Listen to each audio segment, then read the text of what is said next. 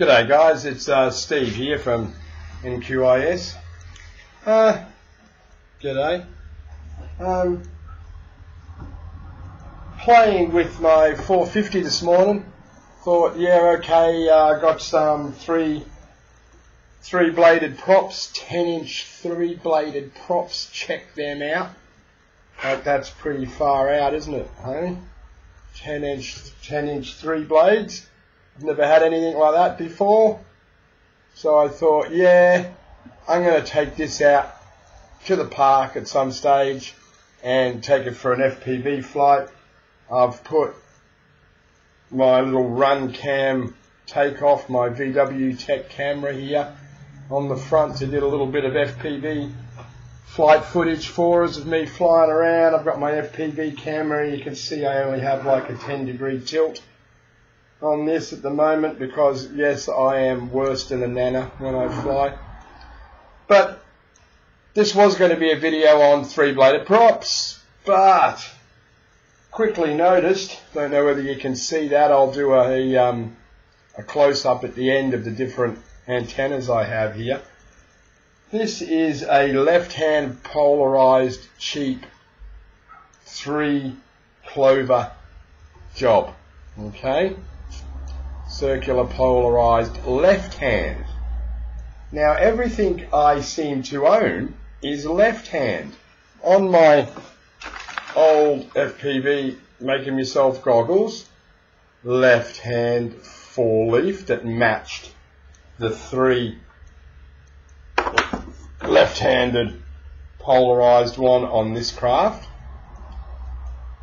I've been flying with this that I bought for my new Cyclops.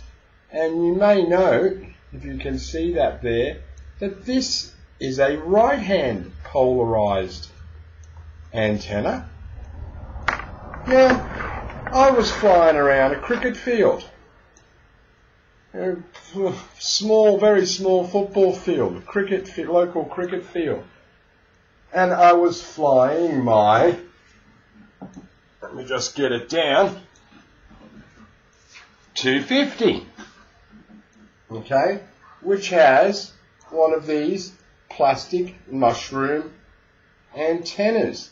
Now, unless this is a right hand polarized and I'm managing to receive it fine all the time off my left hand polarized old goggles, or this is left-hand polarized, like the other cheap one I've just cut apart that was on my other 250, same looking one, I've cut it apart. And it's left hand, not right hand, that's on my Cyclops. So, you know, I'm flying 50 meters away from myself and I'm getting great reception and I've got reversed polarized antennas. So all I can say is that I obviously don't fly very far away from myself, number one. And number two, that the receivers and transceivers of this FPV gear we've got are quite good. And you know, this must come into play when you start getting on the power fringes. Now I run 200 millihertz, 200 milliamp I should say. So maybe, you know, running 200 milliamp on these things, running no further than 50 to 100 meters away from yourself, a reverse polarization antenna set still gives you a good footage. Maybe you have to go past 100 meters before you realize that, hey, this is fucked, what's going on? Excuse the French. But I just think that was an interesting little vid. So I'm definitely going to have to buy myself some left-hand polarized because it seems that's what I I own and not right-hand polarized, and go from there. All right. Well, thanks for watching. Subscribe, press like, do all those sort of things. I'm going to go for a quick fly, even with the wrong polarization. See you later.